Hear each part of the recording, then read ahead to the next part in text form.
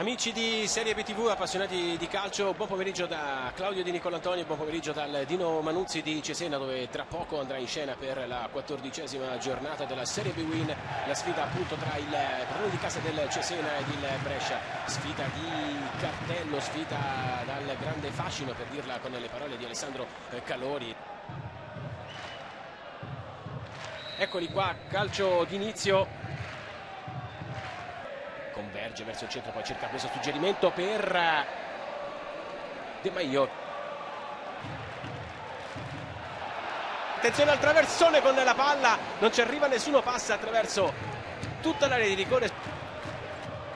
Tiene però ancora vivo il pallone in Cesena, attenzione a Djokovic che pensa alla conclusione, va con il destro, nessun problema per Arcari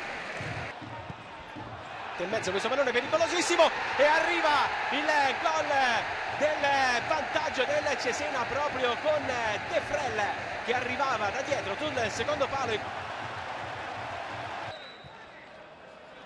Che appoggia molto bene per Daprela subito alla traversione sul secondo palo palla che rimane lì Salamon e la palla che colpisce la traversa attenzione perché c'è ancora Scaglia il rimpallo e poi in qualche modo riesce ad allontanare la difesa del Cesena Scaglia va sul primo palo Corvia palla che passa proprio con il colpo di testa di Corvia in qualche modo salva Velardi attenzione perché non è finita. Pudel e trova il gol del pareggio Pudel con Mancino malgrado l'intervento di Comotto all'ultimo tuffo ma non è riuscito a stoppare il tiro di Pudel.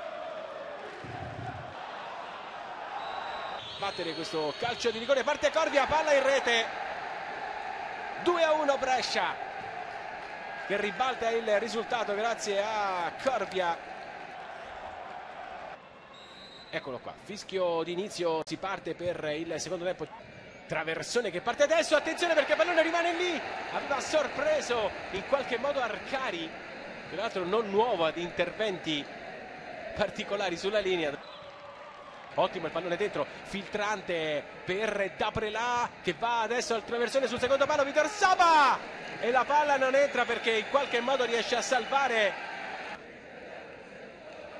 Ottimo lo spunto di D'Alessandro che poi trova, è libero la Padula che va col sinistro. Arcari blocca a terra, lascia passare molto bene D'Alessandro che trova la discesa di Caldirola che va subito al traversone, esce Arcari con i pugni e la mette fuori.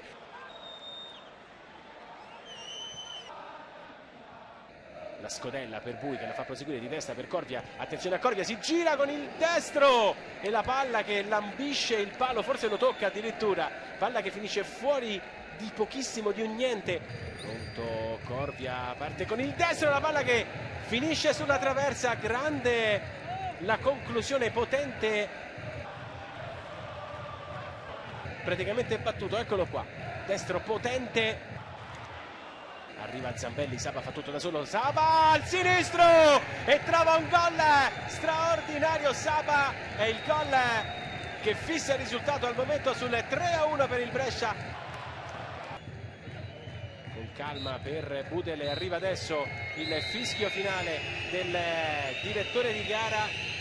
Si chiude a 49-30 3-1 per il Brescia che in rimonta batte il Cesena. Una gara che soprattutto nel secondo tempo ha regalato tantissime emozioni